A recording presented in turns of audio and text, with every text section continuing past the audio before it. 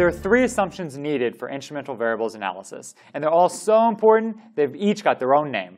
The first is the exclusion restriction. The second is the relevance condition. And the third is the exogeneity assumption. So let's talk about each one of these assumptions.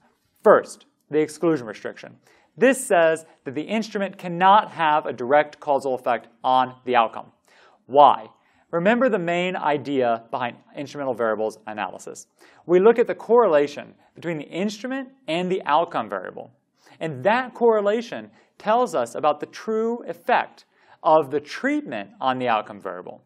So if there actually was a direct causal effect of the instrument on the outcome variable, then we wouldn't be able to separate out that effect from the true effect of the treatment on the outcome variable.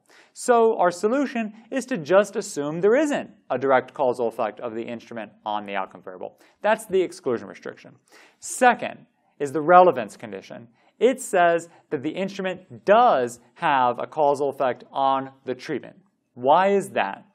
Well, suppose the instrument didn't have a causal effect on the treatment.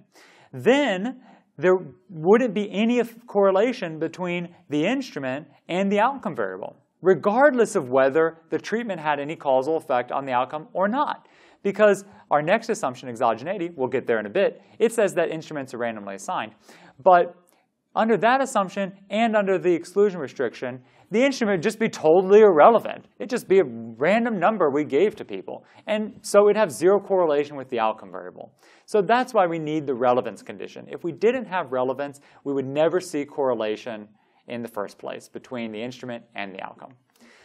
So our final assumption is the exogeneity assumption, which I already just said. It's that the instrument must be randomly assigned to units. Why do we need that? Well, if it failed, we'd be back at the beginning to our original problem all over again. We know, see that correlation between the instrument and the outcome variable might just reflect some unobserved confounder rather than an actual causal effect. So that's why we need the exogeneity condition.